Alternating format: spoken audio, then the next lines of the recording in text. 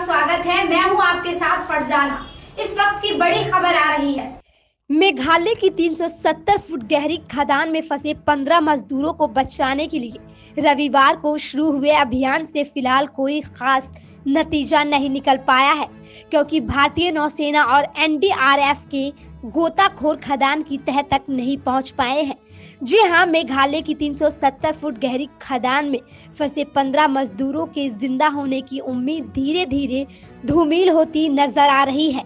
कई एजेंसियों के इस संयुक्त अभियान की शुरुआत नौसेना के team leader lieutenant commander Santosh Khetwal ने की, जो गोताखोर को अंदर भेजने से पहले खुद खदान में पानी की तह तक उतरे, जहाँ उन्होंने स्थिति का जायजा लिया।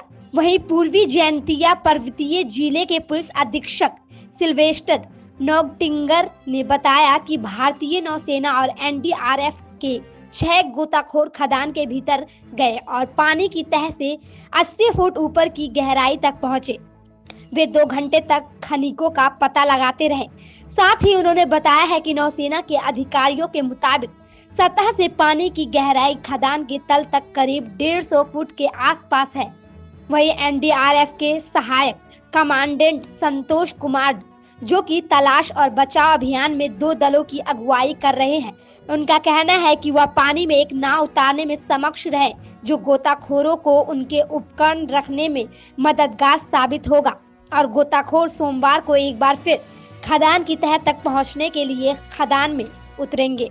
वहीं एसपी का कहना है कि गोताखोर रविवार को कुछ नहीं ढूंढ पाए और सोमवार को वह मजदूरों की तलाश के लिए उच्च तकनीक वाले उपकरण का इस्तेमाल करेंगे। कोल इंडिया लिमिटेड का एक समर समरसिबल पंप रविवार की रात पहुँचा है।